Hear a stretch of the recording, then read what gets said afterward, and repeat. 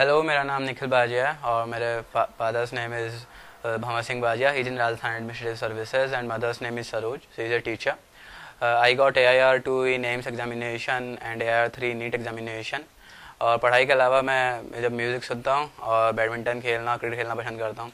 क्योंकि pre medical एक ऐसा तो है नहीं, एक दो महीने का आपकी जर्नी है। It's a long journey of two years so you have to do extra co curricular activity so you remain relax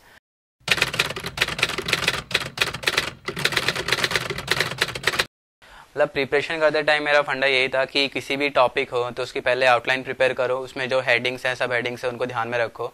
और फिर उसमें आप ये डिसाइड कीजिए कि जो चीज़ें एग्ज़ाम में मोस्टली जो कवर हो रही हैं, उसको ज़्यादा फोकस करो। और किसी भी टॉपिक के बेसिक्स पे हिट करने कैलकुलेशन के बजाय उसके बेसिक्स पे हिट कीजिए आप। अपने कॉन्सेप्ट बिल्डअप कीजिए, क्योंकि एम्स के एग्ज़ाम मेनली कॉन्सेप्ट पूछता है आपसे तो आपको कॉन्सेप्ट पे ज़्यादा ज़्यादा फोकस रखना चाहिए। और मेनली यही होता है। और दूसरा ये था कि जब भी आप मैक्सिमम आप एमसीक्यू प्रैक्टिस कीजिए ताकि आप एग्ज़ाम में जाओ तो आप एक नया इन्वायरमेंट नहीं मिले और आप अच्छा परफॉर्म कर।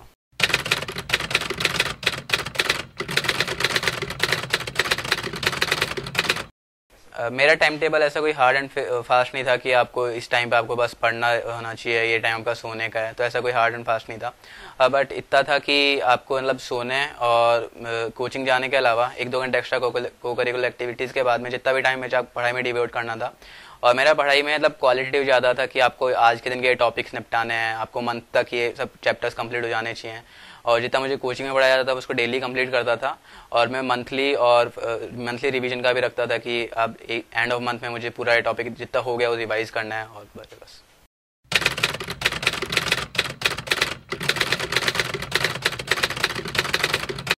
एम्स के लिए एक, स्टिग्मा अटैच होता है कि एम्स बहुत हाई फाई क्वेश्चन पूछेगा बहुत कंसेप्ट आउट ऑफ़ बॉक्स आपको एक thing out thinking out of box रखनी चाहिए आपको एम्स फोड़ने के लिए। तो ऐसा कोई ज़रूरी नहीं है।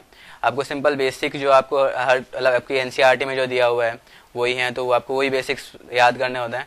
और मेनली ये भी होता है कि फिजिक्स केमिस्ट्री के लोग एन अवॉइड कर देते हैं। तो इसको अवॉइड नहीं करनी चाहिए और उसमें फिजिक्स में मेनली जो पॉइंट्स टू पॉन्डर हैं ब्लू बॉक्सेस दिए हुए होते हैं आपके तो उनको ज़्यादा फोकस करने चाहिए क्योंकि यहाँ से क्वेश्चन पिकअप पिकअप होते हैं तो आपको ये फोकस करना चाहिए।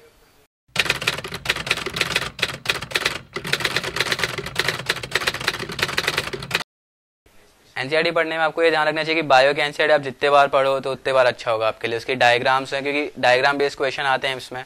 तो उसको प्रिपेयर करने के लिए आपको बायो स्टडी बहुत ढंग से पढ़नी है। उसकी लैब लिंक्स हैं, जो डायग्राम के नीचे जो चीज़ें लिखी हुई होती हैं, उनको भी आपको ध्यान से फोकस रखना चाहिए। और फिजिक्स केमिस्ट्री के एनसीईआरटी में कभी ऐसे चीज़ें होती है कि आप पढ़ रहे हो, आपको बोरिंग लगने लग जाती है एनसीईआरटी तो ऐसे कॉम्प्लिकेट हो जाती हैं। बट लेकिन आप ये ध्यान रखें कि जो मोटो है, जो टॉपिक है फिजिक्स केमिस्ट्री जो हेडिंग है, वो सारी कवर हो, आपके बारे में कुछ ना कुछ पता हो। और जो ग्राफ्स दिए हुए होते हैं फिजिक्स और केमिस्ट्री के एनसीईआरटी में, वो रियली बहुत इंपॉर्टेंट होते हैं। तो ग्राफ्स और दूसरा पॉइंट्स टू पॉन्डर जो फिजिक्स एनसीईआरटी के लास्ट में दिए हुए होते हैं, वो भी बहुत इंपॉर्टेंट होते हैं। तो आपकी समरी और पॉइंट्स टू पॉइंटर आप पढ़ लोगे तो आई डोंट थिंक कि आपको मतलब पूरे थॉरली पढ़ने की ज़रूरत है, आप ये भी पढ़ सकते हो एज ए सब्सटीट्यूएंट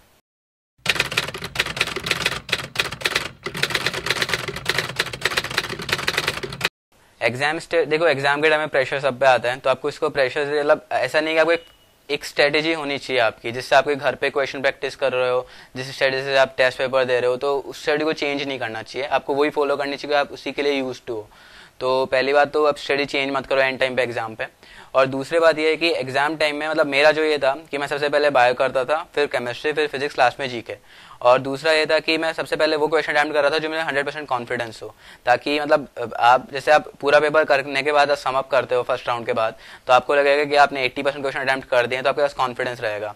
और फिर मैं दूसरे राउंड में वो क्वेश्चन अटैम्प्ट करता था, जिनके अंदर मुझे कुछ डाउट्स हों, या फिर जो थोड़े लेंदी कैलकुलेशन हो ताकि मैं मतलब ज़्यादा से ज़्यादा मेरा टाइम बच जाए और मैं पेपर को एफिशिएंटली कर सकूँ।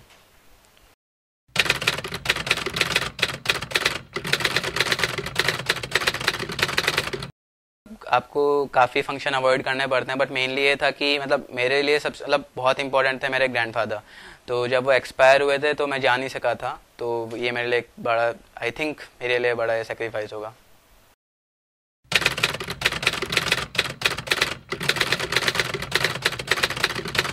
एक्चुअली क्या हुआ था कि मैं अंडर एज था तो मैं I was not eligible to give P M T with my twelfth so I have to take one year drop so drop में सबसे पहली फीलिंग ये आती है कि आप पूरा पढ़ चुके होते हो तो आप फ्रस्ट्रेट हो जाते हो सबसे पहले कि आप वापस से वो सब पढ़ना होगा। तो आपको सबसे पहले तो ये नहीं होना चाहिए कि मतलब कुछ चीज़ें आप, क्योंकि कभी भी आप 100 परसेंट कंप्लीट नहीं कर सकते किसी टॉपिक को। तो आप उन लेकुनाज को सर्च कीजिए जब आप ड्रॉप ले रहे हो, और आपको उन लेकुनाज को सर्च कीजिए और कुछ आप भूलते भी जाते हो तो उनको ज़्यादा से ज़्यादा उनको माइंड में रखिए, रिवाइज करते रहिए और जो चीज़ें लैक्यूना है, जहाँ पे गैप्स हैं, आप उनको फिल करने की कोशिश कीजिए। ड्रॉप के लिए सबसे बेटर तरीका है कि आप ये ना सोचे आप रिपीट कर रहे हैं, जबकि आप ये सोचे कि हम कुछ नया ऐड कर रहे हैं। तो इसी से आप ड्रॉप को एक यूजफुल में कन्वर्ट कर सकते हो।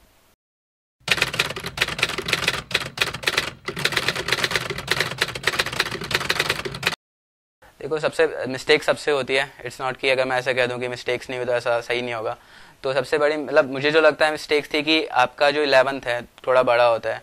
तो इलेवंथ में आपको उस में अडेप्ट करना होता है, नई मतलब आपको नई स्ट्रेटेजीज आ रही होती हैं नए नए एमसीक्यू मतलब पैटर्न आप अडेप्ट हो रहे होते हो। तो उस उस पीरियड को आप बहुत ही कॉशियसली लीजिए और उसके अंदर स्पेशली एनसीआरटीज को बहुत ढंग से पढ़िए आप अगर हैबिट तभी बना लोगे तो आपको ट्वेल्थ में बहुत ज़्यादा दिक्कत नहीं आएगी। ट्वेल्थ की तो वैसे भी लोग पढ़ लेते हैं बोर्ड के लिए, लेकिन इलेवंथ की एनसीआरटी कुछ लोग छोड़ देते हैं। तो मैंने भी, मेरे साथ भी यही हुआ था। तो आप इलेवंथ की एनसीआरटी बिल्कुल ना छोड़ें। चाहे फिजिक्स हो, चाहे केमिस्ट्री हो, चाहे बायो बहुत ढंग से करनी चाहिए इलेवंथ की एनसीआरटी तो मेनली मैं यही कहूँगा कि इलेवंथ की एनसीआरटी बहुत ढंग से करनी चाहिए, ये मेरी मिस्टेक थी और ये नहीं करें लोग।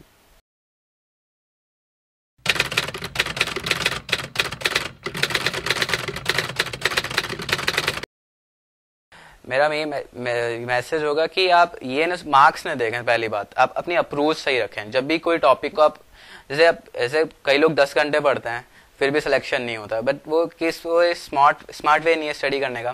तो आपने स्टडी को स्मार्ट रखिए। स्मार्ट रखने के लिए आपको एक अप्रोच क्लियर होनी चाहिए आपकी। और जब भी आप कोई टॉपिक रखें तो पहले उसके आप ब्रेन मैप तैयार करें उसका कि आप किस तरीके से उस टॉपिक को हैंडल करेंगे। कौन से उसमें मेजर पार्ट्स हैं, कौन से माइनर पार्ट्स हैं, क्या सब हेडिंग्स होंगे टॉपिक की, किसी में मुझे फोकस करना है। तो इस तरीके से आप रिवाइज भी करोगे तो एफिशिएंटली कर पाओगे और अपने एग्ज़ाम को ढंग से क्रैक करोगे।